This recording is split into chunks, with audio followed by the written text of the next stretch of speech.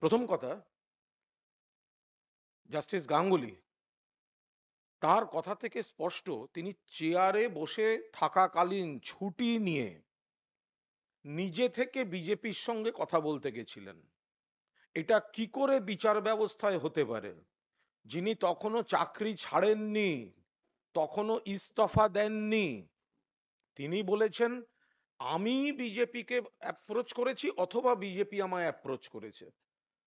But the talks were on on when না তিনি চেয়ারে বসেছিলেন, তিনি ছুটি নিয়ে গেছেন। ছুটিটা বড় কথা নয়। অর্থাৎ বিচারপতির চেয়ারে বসে তার সরকার বিরোধী পর্যবেক্ষণ, রায়গুলোর পলিটিক্যাল মার্কেটিং করে কেরিয়ার গড়ার জন্য বিজেপির সঙ্গে দরাদরি করতে গিয়েছেন চেয়ারে বসে থেকে। দুই, তিনি এই প্রথম কাউকে দেখা গেল যিনি একটি রাজনৈতিক দল দলে যোগদান ঘোষণার সময় আপাতত কথাটা বললেন। তিনি বলেছেন, আপাতত আমি বিজেপিতে যোগ দিচ্ছি।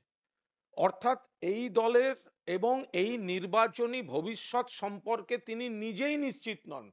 কেউ কোনোদিন কোনো দলে জয়েন করার মুহূর্তে আপাতত শব্দটা ব্যবহার করতে পারে না। তিন নম্বর হচ্ছে, শুভেন্দু অধিকারীর কাগজে মুড়ে টাকা নেওয়ার নারদ মামলায় উনি প্রকাশ্যে বলেছেন, ওটা কি ছিল? ওটা কি কাগজে মুড়ে? ওটা কি ছিল? ওটা কি টাকা? ওটা কি ঘুষ? পরিষ্কার বক্তব্য, আপনি তো কথায় কথায় সিবিআই বলেন। তো আপনি তো সিবিআই এর পরম ভক্ত। আপনি তো আজও কোনো বিষয়ে সিবিআই এর তদন্তর কথা বলেছেন। তাহলে শুভেন্দু তো সেই সিবিআই এর এফআইআর নেমড। তাহলে আপনি যে দলটায় যোগ দিচ্ছেন বিজেপি সেই দলটাই তো এই ভিডিওটার ফুটেজটা বার করে শুভেন্দু অধিকারীকে চোর বলে সিবিআই চেয়েছিল। তাহলে সেই শুভেন্দু অধিকারী যখন গ্রেফতারি এড়াতে দলবদল করল, আপনি কেন তদন্তের আগে আপনি ক্লিনচিট দিচ্ছেন কি করে?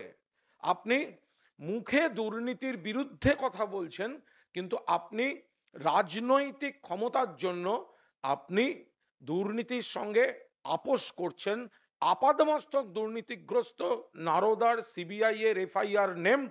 শুভেন্দু অধিকারীকে আপনি ক্লিনচিট দিচ্ছেন তদন্তের আগে। আপনি আজ আদালত অবমাননা করেছেন। আপনি আমাদের প্রিয় নেতা অভিষেক বন্দ্যোপাধ্যায়, বিশিষ্ট দক্ষ আইনজীবী, বর্ষিয়ান আইনজীবী, কল্যাণ বন্দ্যোপাধ্যায়কে যে ভাষায় আক্রমণ করেছেন, সর্বভারতীয় তৃণমূল কংগ্রেসকে যে ভাষায় আক্রমণ করেছেন, পাশাপাশি আপনি বলেছেন যে কীভাবে বিচার করতে হয় আমি দেখিয়ে দিয়ে এসছি। এখন বাকি বিচারপতিরা ঠিক করবেন যে আমার মডেলে করবেন নাকি একশো বছর আগের পদ্ধতিতে করবেন? আপনি বিচার ব্যবস্থা এবং বিচারপতিদের অপমান করেছেন নিজের ইমেজ বিল্ডিং এর জন্য। আপনি তৃণমূলের মুখপাত্রদের বিরুদ্ধে অভিযোগ তুলেছেন যে বিচারের রায়ের নয়, বিচারকের সমালোচনা করা হয়েছে। আমি আনন্দের সঙ্গে জানাচ্ছি, আজকে প্রমাণিত তৃণমূল সঠিক লোককেই আক্রমণ করেছিল। আপনার আজকের প্রেস কনফারেন্স প্রমাণ করে দিচ্ছে যে তৃণমূলের মুখপাত্ররা সঠিক লোককে আক্রমণ করেছিলেন, যার মুখোশের আড়ালে আসল মুখ সিপিএম চিনতে পারেনি, কংগ্রেস চিনতে পারেনি, কিন্তু তৃণমূল কংগ্রেস চিনতে পেরেছিল। দেখুন, আমি অনেক দিন ধরেই বলে আসছি যে, প্রাক্তন বিচারপতি অভিজিৎ গঙ্গোপাধ্যায় রাজনৈতিক পক্ষপাত দুষ্ট হয়ে বিচার করছেন। এবং সে কথা আজকে প্রমাণিত। প্রমাণিত যে, ওনার টার্ম শেষ হওয়ার আগে রিজাইন করে উনি ভারতীয় জনতা পার্টিতে জয়েন করতে যাচ্ছেন। দীর্ঘদিন ধরে ওনার রাজনৈতিক সংস্রব ছিল। এবং তাই জন্য উনি রাজনৈতিক চিন্তা ভাবনা নিয়ে সমস্ত মামলা ডিসাইড করেছেন। ওনার যত জাজমেন্ট বা অর্ডার দিয়েছে, তার এইটটি ফাইভ পার্সেন্ট মামলা হয় ডিভিশন বেঞ্চ না হলে সুপ্রিম কোর্ট সেটা সাইড করে দিয়েছে। সেটা সাইড করে দিয়েছে। আপনারা দেখাতে পারবেন না যে উনি এই বিচার নিয়োগ দুর্নীতি ছাড়া কোনো মামলায় কোনো জাজমেন্ট দিয়েছে। যে জাজমেন্ট রিপোর্টেড জাজমেন্ট হিসেবে হয়েছে। ওনার একটা জাজমেন্ট দেওয়ার জাজমেন্ট যাকে বলে অর্ডার নয় জাজমেন্ট দেওয়ার যোগ্যতাই কোনোদিন ছিল না। যোগ্যতাই নেই। উনি বিচার ব্যবস্থার একটি কলঙ্ক হয়ে গেছিলেন। উনি বিচার ব্যবস্থার কলঙ্ক। ও পুরোটাই সিপিএম এর হাত দিয়ে তৈরি। সিপিএম এর দয়া দাক্ষিণ্য তৈরি। আর আজকে এসে উনি বিজেপিতে চলে গেছেন। উনি আসলে একটি প্রাক্তন খরমুজ বিচারপতি। ভেতরটা লাল, বাইরেটা হচ্ছে ওর গৌরিক। এই যে আন্দোলনটা চলছে এসএলএসটি নবম থেকে দ্বাদশ যাদের, মাননীয় মুখ্যমন্ত্রীর নেতৃত্বে রাজ্য সরকার এটা সমাধান করতে আন্তরিকভাবে চেয়েছিলেন। আজকে আপনি আন্দোলনকারীদের জিজ্ঞাসা করুন যে কারণে এটার ভয়ঙ্কর জট পাকিয়ে সুপ্রিম কোর্টে আটকে এতগুলো ছেলে চাকরি আটছে সেটা কিন্তু বিচারপতি থাকাকালীন অভিজিৎ গঙ্গোপাধ্যায়ের রাজনৈতিক প্রতিহিংসামূলক একটি নির্দেশের জন্য। ফলে এই যে ছেলেমেয়েরা আন্দোলন করছে, তারাও ক্রমশ বুঝতে পারছেন। একটা ধারণা দেয়া হচ্ছে যে উনি দুর্নীতি ধরছেন, ইত্যাদি ইত্যাদি ইত্যাদি। কিন্তু উনি যে এই নিজের রাজনৈতিক ভবিষ্যৎ তৈরির জন্য তৃণমূলের কয়েকজন নেতাকে টার্গেট করে ওনার অর্ডার বা ওনার অবজারভেশন সেটা করতে গিয়ে যদি কোথাও কোনো অন্যায় কেউ করে থাকে উনি নিশ্চিতভাবে ব্যবস্থা নেবেন।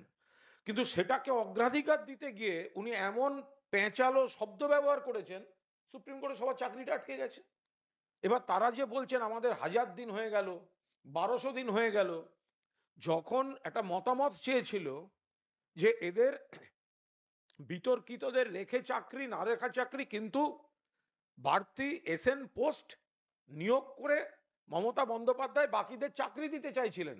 উনি এসএন পোস্টটাকে স্যাংশন না দিয়ে রাজনৈতিকভাবে কি করে তৃণমূলকে হেনস্থা করা যায় সেটা করতে গিয়ে কয়েক হাজার ছেলেমেয়ের ভবিষ্যৎ রাস্তায় বসিয়ে দিয়েছেন, যারা প্রথমে এটাকে দুর্নীতির বিরুদ্ধে লড়াই ভাবছিল, আজকে প্রমাণিত হয়ে গেল যে নিজের রাজনৈতিক কেরিয়ারের জন্য তিনি কখনো এই হাজার হাজার ছেলেমেয়ের স্বার্থকে বলি দিয়েছেন, কখনো অভিষেক বন্দ্যোপাধ্যায়কে আক্রমণ করেছেন, কখনো কল্যাণ বন্দ্যোপাধ্যায়কে আক্রমণ করেছেন, কখনো সর্বভারতীয় তৃণমূল কংগ্রেসকে আক্রমণ করেছেন। উনি বলেছেন যে উনি জিতবেন, তৃণমূল নাকি উঠে যাবে, এরম ছাব্বিশে উঠে যাবে, এরকম অনেক ব্যক্তি যাতায়াত করবে। আপনাকে কয়েকদিন বাদে ওই মহামহিম থেকে অভিজিৎ দা, মহামহিম থেকে অভিজিৎ দা, এইটা আগে আপনি অভ্যস্ত হন, তারপর তৃণমূল নিয়ে ভাববেন, এরম অবস্থা না হয়, লোকসভা নির্বাচনের পরে আপাতত কথাটা প্রযোজ্য না হয়ে যায়। আপনি যে প্রথমেই বলেছেন আমি আপাতত বিজেপিতে যাচ্ছি। লোকসভা নির্বাচনের পর আপনার মুখ থেকে বেরিয়ে আসা আপাতত শব্দটা সত্য না হয়ে যায়। দাঁড়াতে বলুন না। ওকে যেখানে ইচ্ছে দাঁড়াতে বলুন। ওকে আমরা হারাবোই হারাবো। কারুর ক্ষমতা নেই ওকে জেতানোর। শুভেন্দু কেন নরেন্দ্র মোদী এসে ওকে জেতাতে পারবে না? ও হচ্ছে একবারে পাক্কা দু নম্বরই লোক। ওর মতো দু নম্বরই লোক নেই। ও হচ্ছে কোরাপ্ট লোক। সব প্রমাণ করে দেবো। সব প্রমাণ হয়ে যাবে। করাপশন মানে শুধু টাকা খাওয়া নয়। করাপশন মানে এটাও। জুডিশিয়ারিতে বসে যখন পলিটিক্যালি মোটিভেটেড হয়ে জাজমেন্ট দেয় that's also corruption he is a dishonest he he dishonest একদম fraud or judgement is a product of fraud